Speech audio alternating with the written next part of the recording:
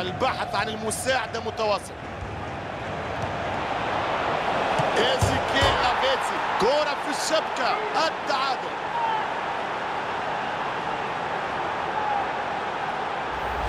بعد جملة من الفرص والمحاولات والتسديدات جاء الهدف عبد الله. حقيقة ضياع الفرص في الغالب في كرة القدم هي نذير شؤم لكن أخيرا استطاعوا أن يسجلوا.